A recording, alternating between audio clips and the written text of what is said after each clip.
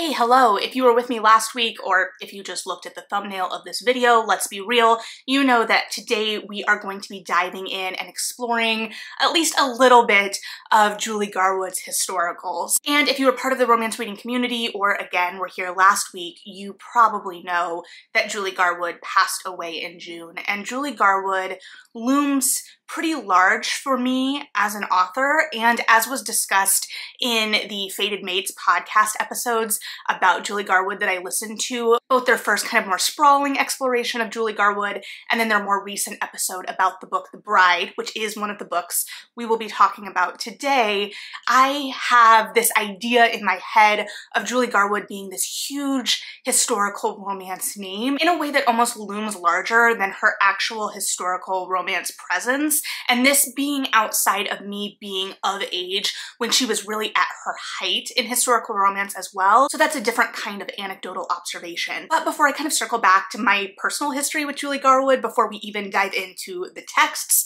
of Julie Garwood that I reread for today, I want to kind of set this in the current moment as well because I went to the bookstore today when I honestly should have been recording this video, but I noticed that this particular bookstore, which is one of my favorites in the city, I have many to be fair, has a huge romance presence now. It has an entire wall almost of romance titles. And when I was looking at this wall, now granted there was a romance section and then a gay romance section as well, but between those two sections, I only saw one small selection of mass market romances, and those were backlist Cat Sebastian titles, which as a romance reader are still relatively new. And so there's this kind of give and take as a long-standing romance reader that I've talked about on this channel a lot in the excitement of seeing romance really embraced more generally generally and pick up steam, especially on places like TikTok.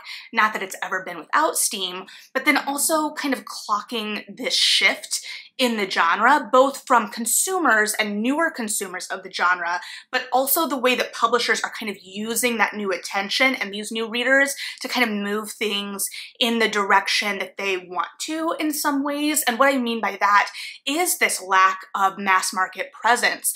And because of that, I also, as someone who came up reading historicals, historical romances were my first entry into the genre, seeing them not be as popular. We do have historical romances in trade paperback, and we obviously have the immense popularity of Bridgerton, but there's almost this absence of these big names of historical romance in the bookstore oftentimes. We're talking Lisa Kleypas, we're talking Julia Quinn, and we're of course talking like our Julie Garwoods, our Johanna Lindseys, our Judith McNaughts, these authors that we often see grouped together and the real giants of the genre, Nora Roberts notwithstanding.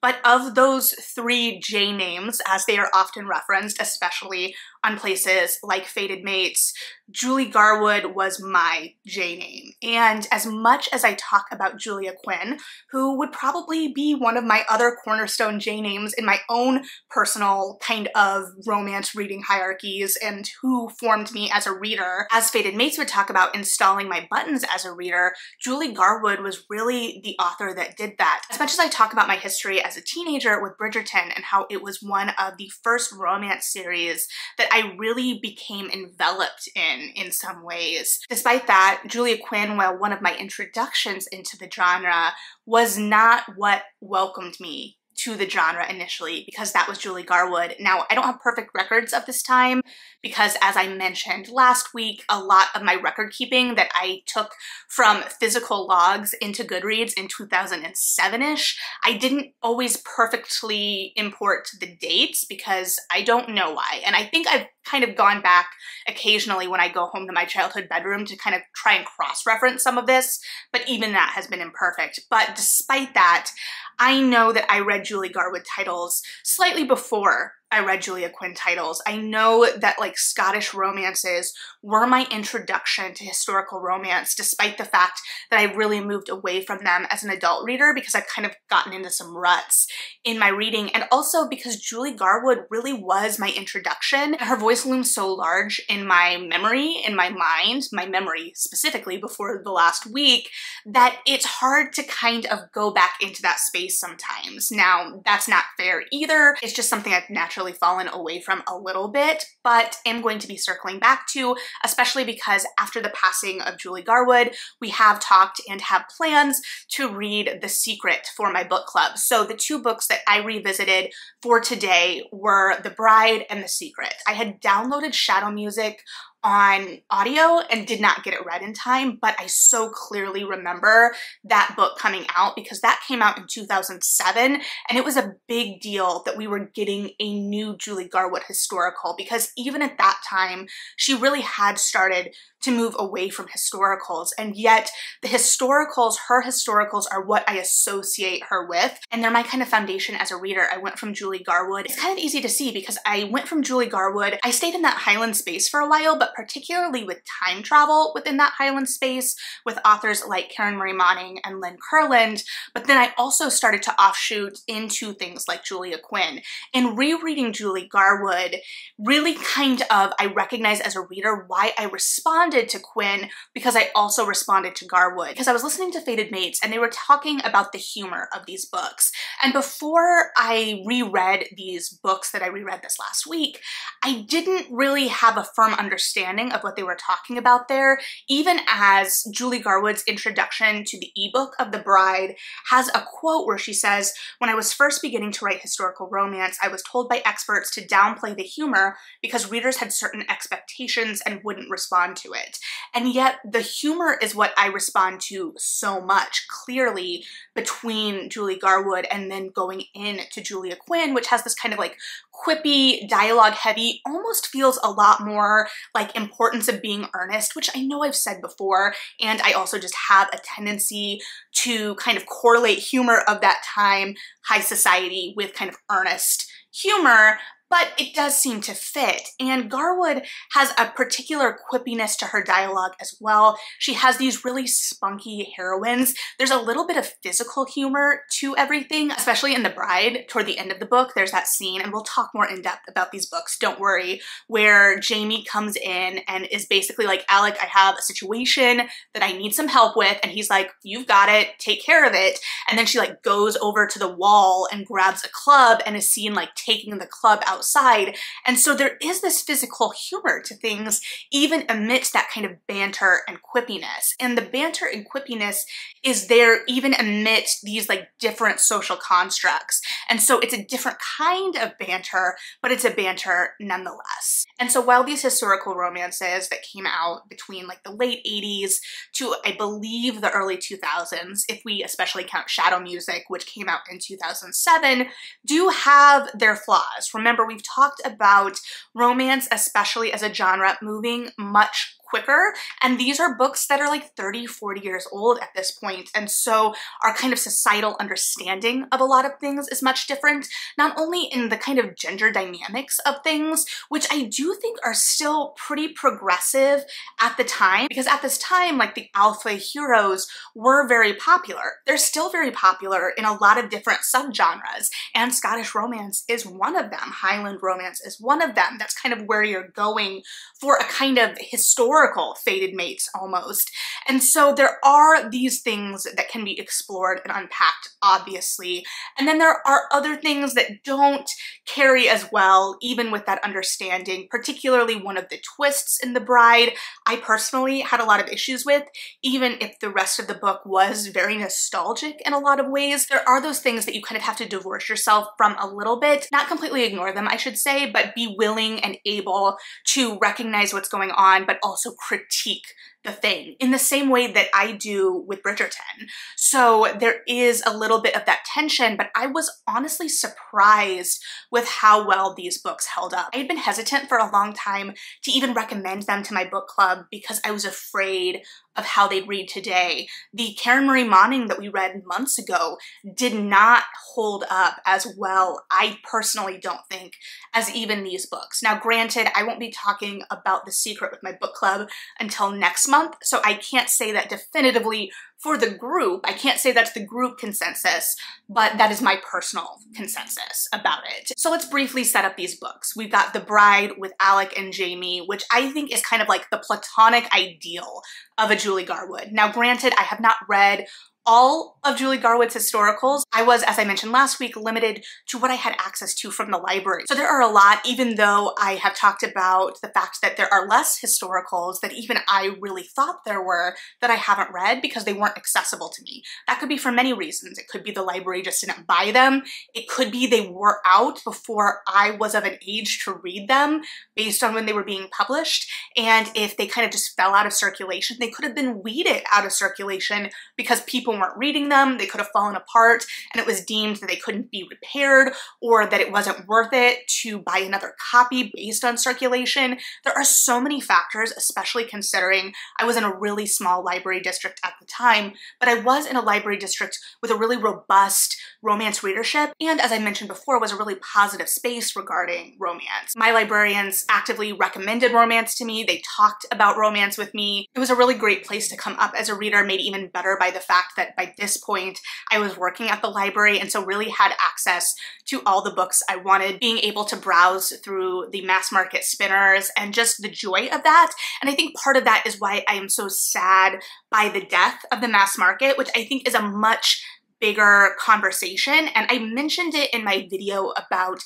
publishing forcing readership to adapt and had one of my friends more closely aligned in the industry kind of confirm that observation that it really is kind of dying. And that's either the cause or the effect of me personally switching a lot of my romance reading over to e-reading, but also how different the e-reading experience is from the physical book in some ways, in a way that I was observing a lot more while rereading these books because I read them for the first time in mass market. And while my thumbs aren't, you know, ink stained at this point, and I'm grateful for that, there is something to be said about the pacing of these books and kind of feeling how far you are in the book, where you are in the book by where you are physically in the book. And even when there is a kind of meter at the bottom of the e-reader telling you where you are, it's a much different thing than being able to kind of like subconsciously flip to the end of the chapter and kind of feel where you are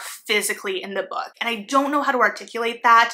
And if I am absolutely out of my mind here, let me know. But also if any of that resonates with you, let me know as well. So going back to The Bride, we open with our heroine Jamie, or more accurately, we open with her crying sisters and her father, more accurately her stepfather, upset because the kings have ordered them to be married. So they're basically being married off to the Scottish lairds. They are English. There is a lot of bad blood there. These historicals also often set up that rivalry or contentiousness between our romantic leads, whether it be English versus Scottish, whether it be rival clans, that's usually at the heart of something. And so this book sets off with this expectation that one of Jamie's sisters two of Jamie's sisters potentially are going to be married off to these Scottish lairds, but her father has kept her out of consideration because he claims to love her too much, though it becomes clear that she's just too useful to him. She does most of the housekeeping and the running of the household for him, and she additionally frequently sacrifices herself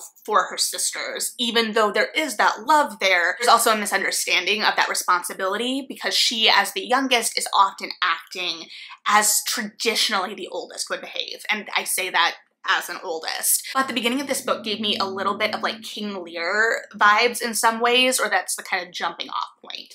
So both of these two lairds, Alec, of course, being the most important, arrive and they find out that basically this baron is keeping one of his daughters from them and that she is the most valuable daughter because the stable hand who is also Scottish basically ratted him out because he loves Jamie and thinks that this marriage would be good for her. And so they get married. And most of this book, well, not most of it, a large part of this book is them traveling back from this wedding. But it also made me kind of look because the wedding is so early here. I mean, the name of the book is The Bride. These aren't exactly subtle titles, at least the two I reread.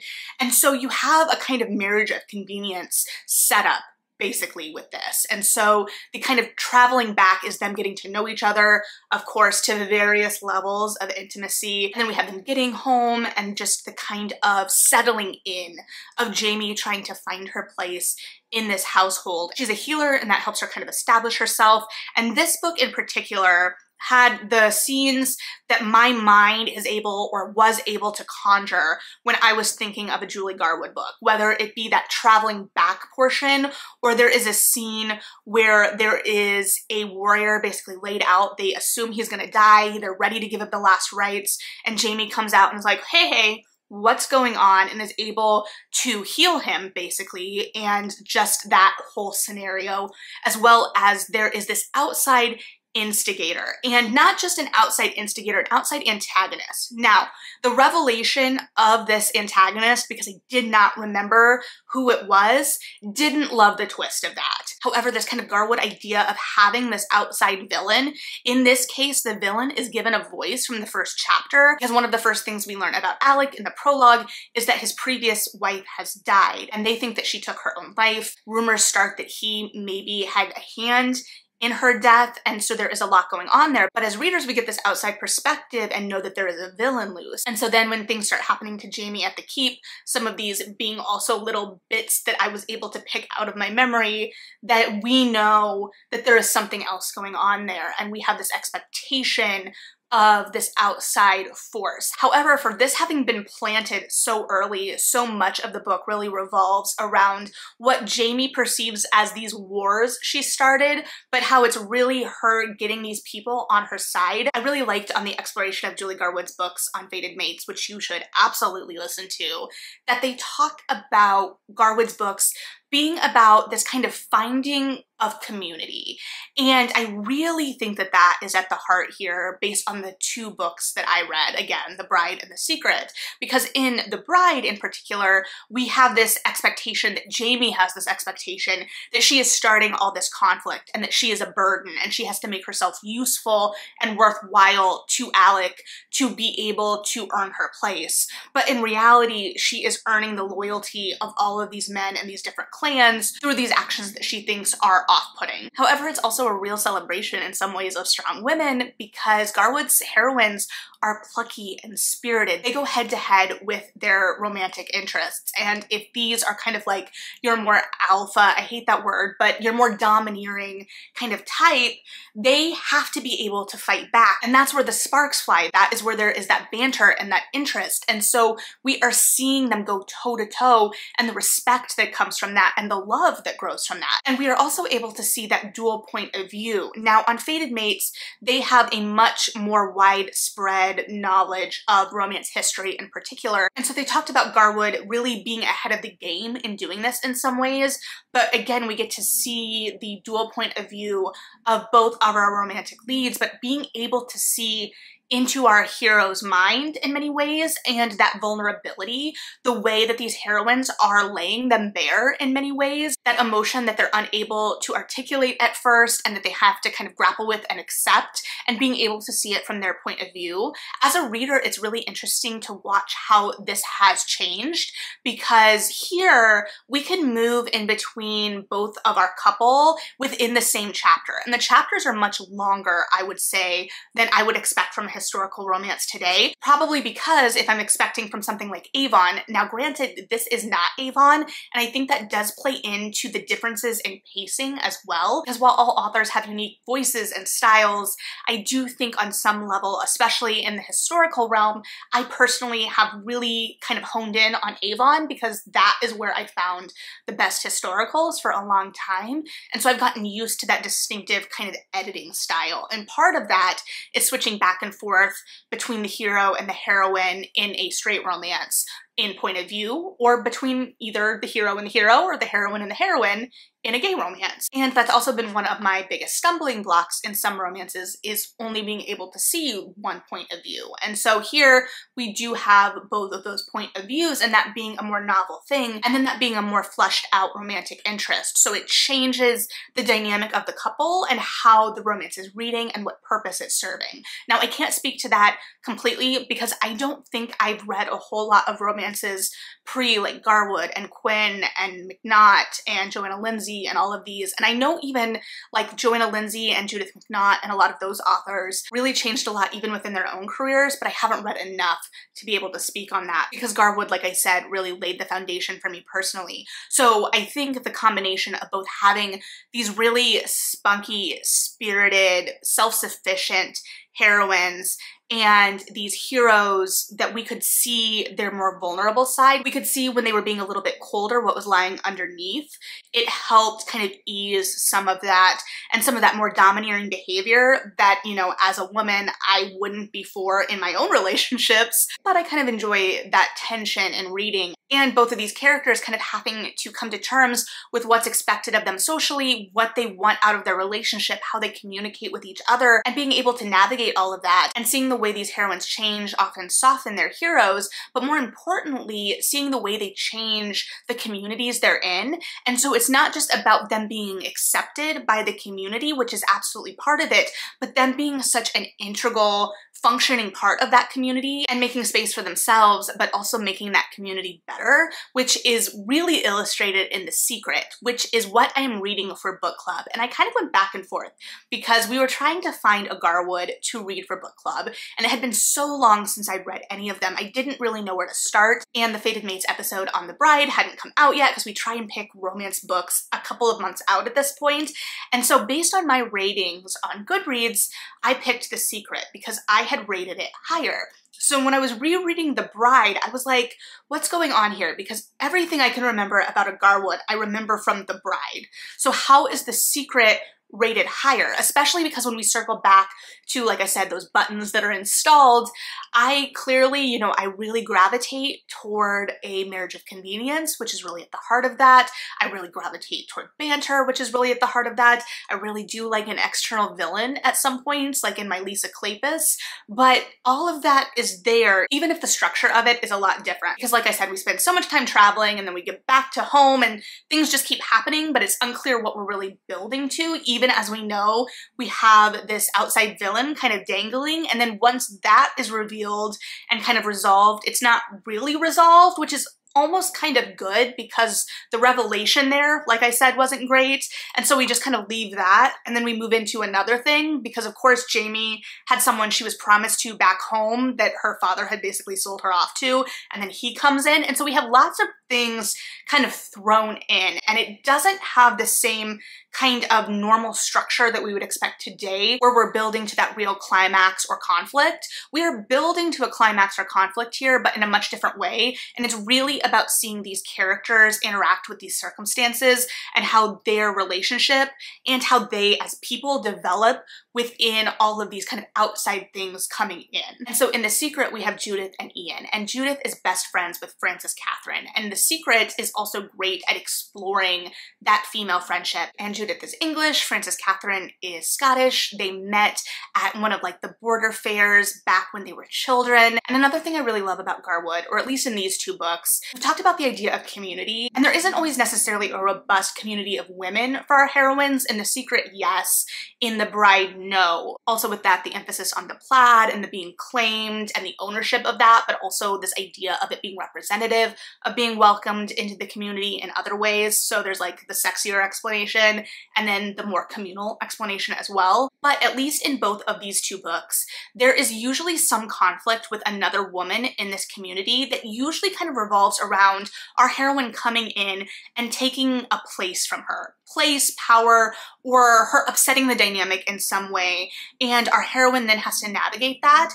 And she usually is able to really accurately see that other woman. And even if the woman is not treating her well, she is often able to give extreme empathy to it and not in a way where she's kind of a pushover. Not that empathy is ever the trait of a pushover. She's able to be kind of spunky in her confrontation at times, but there is that moment of confrontation. And often she is able to see this woman clearly, see this woman's struggles clearly, and kind of meet her on common ground, and they are able to move forward together, which is a really beautiful sentiment. And then if that is not possible, we as readers get a moment of kind of like mean girl comeuppance out of it. And so I really enjoy both of the ways that those are navigated and how often that antagonism is really grounded and rooted. And so in The Secret, we have both the community of women being a lot stronger and Judith really strengthening the connections between women in this community but we also then have that kind of really satisfying moment of comeuppance. So how was Judith brought to this community? She had promised Frances Catherine, her best friend, that she would be present for her birth because both Frances Catherine's mother and grandmother died in childbirth and she is really afraid of that. So Frances has basically gone in front of the clan. Her brother is brothers with the Laird. That always feels so weird to say, but it's what's going on here.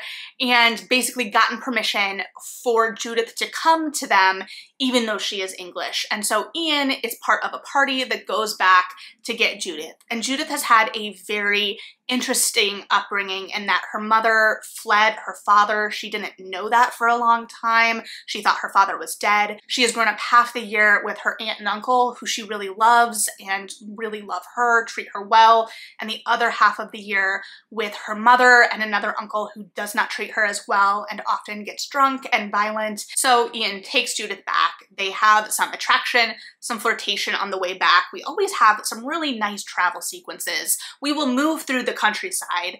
And then she gets back to this community and really becomes valuable as a midwife, despite the fact that she has never had a child herself, let alone engaged in the activities that would result in a child. Now, there is something to be said for the fact that, at least in the books I've read and to my recollection, a lot of the heroines in Julie Garwood's books are virgins. Now, when I was reading them, that didn't bother me at all. Honestly, I don't know that it bothers me still, but when I was first reading these books, and you know, I'm not gonna get too personal here on anything, but that felt like an accurate reflection based on my own personal experience, and so it was letting me explore things in a way. I think that there are real valid criticisms of the kind of purity culture aspect of it in these books, in kind of an emphasis on that today, which I think we've gotten away from in a lot of ways, but there are larger conversations to have there, but these are largely inexperienced heroines. And so again, it gets a little bit at this being the kind of historical version of fated mates in some ways. There's that kind of idea of claiming and whatnot. So Judith is making her name in this community. However, the fact that she is a midwife who has never birthed a baby until in the pages of this book is not the secret at the heart of this, but rather who her father is. And she has never met her father, but because there's all of the like intricate politics and like inner wars between the clans, which to be fair, it's kind of hard to keep track of the politics sometimes. We know it, but we don't necessarily feel it. It's just kind of the outside instigator to a lot of things.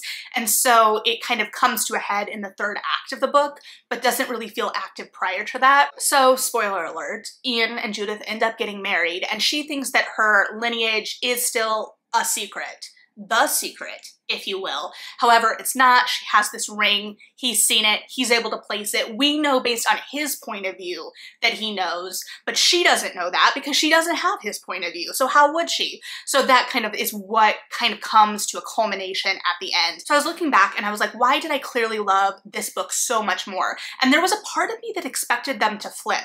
One, because as I was reading The Bride, it was clearly the one that I associate in my mind with Garwood so much more clearly, but also because when I was rereading the Bridgerton series, I really did flip in what books were my favorites as a teen versus what books were my favorites as an adult. And I kind of expected that to be the same here, especially because these were some of the first romances that I ever read, and I was much younger than I am now. Not that I didn't have taste when I was much younger, but that my tastes have surely altered in that time.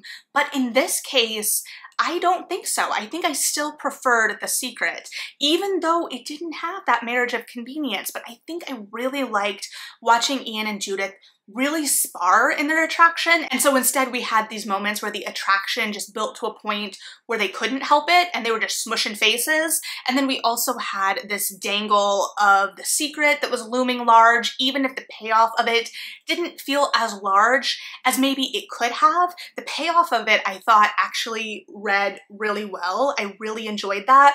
There is miscommunication, but in a way that is really kind of lovely and also a little comedic at times and the community aspect of it and the way that Judith was able to see the community, build community, build a community of women was really lovely. And I especially loved the friendship between her and Frances Catherine. And so I think that even though The Bride looms larger in my memory, I still do prefer The Secret. But I also think that these are really strong Garwood entries. I will be very interested to see if I'm able to circle back to some of these other books, whether they go on sale on Kobo, whether I'm able to get my hands on some used editions of them, how I respond to some of these other historical titles.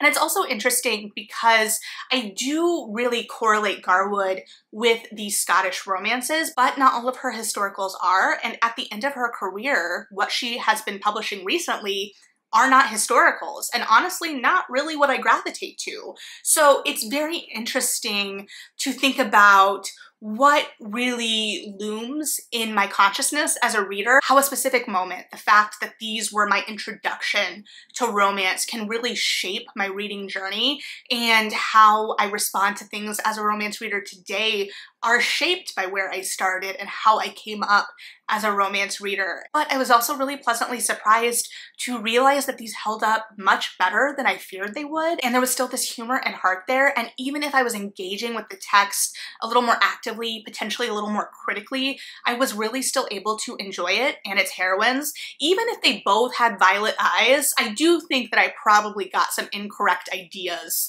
about violet eyes. It was also interesting to think about the fact that these were some steamy scenes. One, when I first read them, and probably when they came out as well, but now they almost feel, they're not, you know, prudish by any means, but it almost feels like they have a filter over them. They're not quite the same as today. They didn't necessarily strike me as having a lot of really coded language that we might laugh at today. It's also possible I'm a little bit more immune to that as well though, but it is interesting to think about how some of that has shifted. I think, like I said, the biggest biggest shift I noticed in this was just the pacing and how it felt different than I expected. And it wasn't necessarily driven by a forward momentum of like a big plot, but was a lot more internal and about this finding of love and community, which I mean, all romances are about finding love in some way and are a little bit more internal and domestic than other plots potentially, but I think that there was something different here than we might even get today. So I don't know, that's a really sprawling, vague overview, but I would be really interested to hear your thoughts as a romance reader. If you've read Garwood, if you haven't read Garwood, how you view her impact on historical romance. I definitely think we're seeing it today. I don't think we'd have Julia Quinn without a Julie Garwood, and I think so much of what I respond to as a romance reader to this day is really rooted in that banter and that humor and that connection that we really see established here. So you know the drill. Let me know what you're thinking. Like, subscribe if you feel like it. Regardless, Thank you, as always, for hanging out and listening to my thoughts. I feel like I had so many here that I was barely able to graze, and I'm sure I will think of so many more the moment I turn this camera off, so let's keep the conversation going. But again, thanks for hanging out, read something good, and yeah, Bye.